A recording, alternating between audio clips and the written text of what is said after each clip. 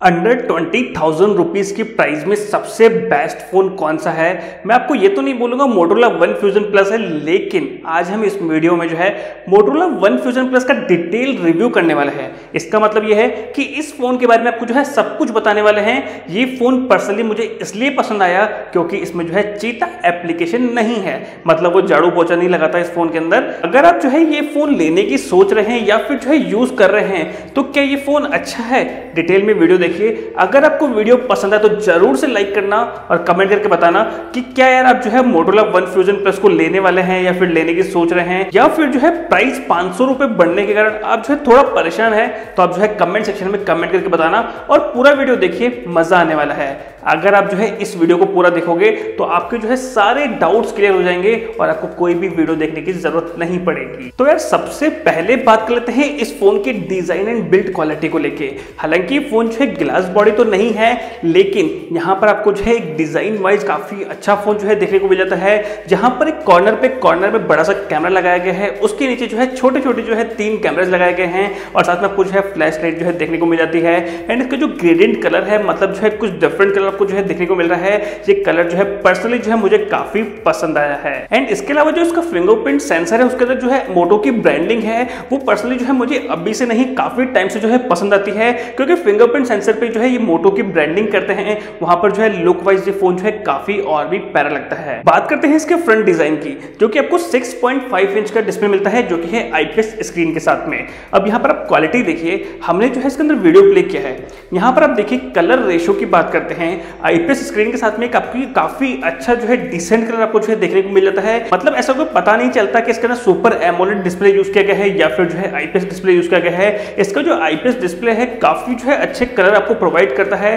काफ़ी contrast colour आपको जो है प्रोवाइड करता है, जैसा कि आपने यहाँ पे वीडियो में देख रहे हैं। जो एक्चुअल कलर है नेचुरल कलर है, आपको जो है इसके अंदर देखने को मिल जाते हैं। बात करते हैं इसके साइड में बेजल्स की। तो अब यहाँ पे बेजल देखिए, आपको जो है ऊपर की साइड में और नीचे साइड में आपको जो है हल्के हल्के थोड़े ज़्यादा बेजल्स मिलते हैं, लेकिन जो साइड के बेजल्स है वो काफ़ी कम मिलते हैं। हालाँकि जो है मोटो को थोड़ा बहुत कम करना चाहिए था इस बेजल्स को जो कि ऊपर की साइड में और नीचे साइड में दिए हुए हैं। इन बेजल्स को हल्के से जो है मोटो कम कर सकता था, लेकिन पता नहीं क्यों थोड़े से बड़े बेजल्स दिए हैं। हालाँकि साइड में जो है काफ़ी अच्छे बेजल्स हैं। इसी के साथ बात करते हैं इस फ़ोन की परफॉर्मेंस के बारे में, जहाँ पर चिपसेट यूज़ किया गया है स्नैपड्रैगन 730G अब ये वाला जो परफॉर्मेंस वाला फ़ोन है, हम ऑलरेडी पोको X2 देख चुके हैं। जहाँ पर हम बहुत सारे कंपैरिजन भी कर चुके हैं।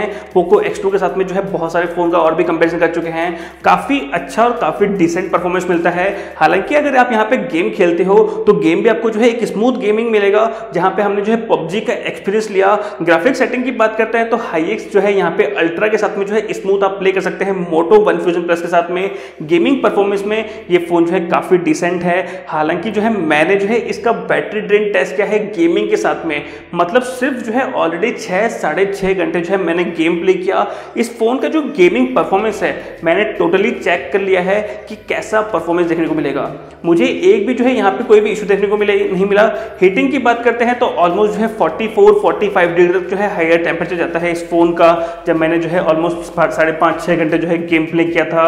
और उसके बाद में मुझे फ्रेम ड्रॉप्स जो है मतलब ज़्यादा फ्रेम ड्रॉप जो है देखने को नहीं मिले। हालाँकि कुछ कुछ टाइम में आपको जो है फ्रेम ड्रॉप जो है देखने को मिलते रहते हैं। वो नेट कनेक्टिविटी का भी प्रॉब्लम हो सकता है, या फिर जो है फ़ोन का भी प्रॉब्लम हो सकता है। कहीं ना कहीं मुझे थोड़े बहुत जो है फ्रेम ड्रॉप्स देखने को मिले बीच बीच में। हालाँकि अगर आप जो है गेमर हो तो ये फ़ोन जो है आपके लिए अच्छा है, काफ़ी स्मूथ गेम आपको जो है यहाँ पे देखने को मिलते हैं। लेकिन अगर फ्रेम ड्रॉप की बात करते हैं तो कहीं ना कहीं आपको जो है थोड़े बहुत जो है फ्रेम ड्रॉप्स भी देखने को मिल जाते हैं। अब बात करते हैं इस फ़ोन की कैमरा परफॉर्मेंस के बारे में। जैसे कि मैंने आपको बताया, एक बड़ा सा कैमरा जो है लगाया गया है, जो कि है 64 मेगापिक्सल का कैमरा जहाँ पर आपको aperture lens focal lens f1.8 मिल जाता है, जो कि लो लाइट में काफ़ी अच्छी इमेजेस कैप्चर कर लेता है। हमने यहाँ पे जो है कुछ यहाँ पे आउटडोर लाइट में या फिर इंडोर लाइट में जो है कुछ इमेजेस कैप्चर की हैं, जो कि आप ये देख ही सकते हैं। मतलब परफॉर्मेंस वाइज में यहाँ पे एक अच्छा परफॉर्मेंस एक डिटेलिंग आपको जो है देखने को मिल जाती है। कलर्स की बात करते हैं तो आप जो है कलर्स देख ही रहे हैं कि आपको जो है एक अच्छे कलर्स जो है यहाँ पे देखने को मिलते हैं। आपको एक्सपोज भी देखने को नहीं मिलेगा मतलब अगर जो है किसी की इमेज कैप्चर करते हैं तो आपको जो है ओवर एक्सपोज या कोई एक्स्ट्रा कलर्स भी जो है देखने को नहीं मिलता है। मतलब जो एक्चुअल कलर है, वही आपको जो है मेन कैमरा में देखने को मिलेगा सिक्सटी फोर के साथ में। हालाँकि बात करते हैं वाइड एंगल की, जो कि है 8 मेगापिक्सल के साथ में। ये वाली इमेजेस जो है वाइड एंगल की कैप्चर की गई है। परफॉर्मेंस वाइज में वाइड एंगल भी जो है एक अच्छी सी इमेज कैप्चर कर लेता है। मैक्रो लेंस के लिए 5 एम का है। हालाँकि आप यहाँ पे देख रहे हैं डिजी टैक लिखा हुआ है, जिसका परफॉर्मेंस आपको काफ़ी अच्छा मिलता है मैक्रो लेंस के साथ में। मैक्रो लेंस फाइव एम का जो है एक अच्छा सा काम कर लेता है। हालाँकि मुझे लगता है कि आप में से बहुत सारे लोग, या इनफैक्ट मैं भी बात करता हूँ तो मैक्रो लेंस जो है बहुत ही कम काम आने वाला प्रोडक्ट है। मतलब बहुत ही कम काम आने वाला कैमरा लेंस है। लेकिन जो है वाइड एंगल और मेन कैमरा और डेप्थ को जो कवर करने वाला कैमरा होना चाहिए, वो काफ़ी अच्छा होना चाहिए मैक्रो लेंस के कंपेरिजन में। बात करते हैं डेप्थ को कवर करने के लिए, जो कि है टू मेगापिक्सल का।